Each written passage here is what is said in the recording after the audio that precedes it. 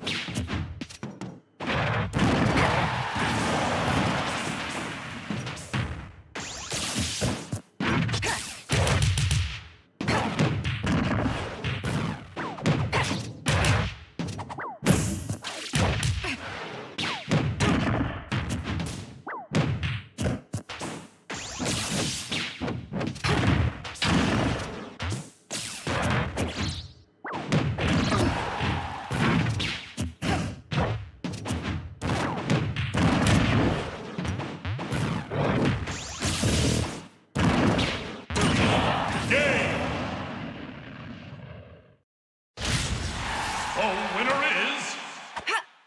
Zero Suit Samus.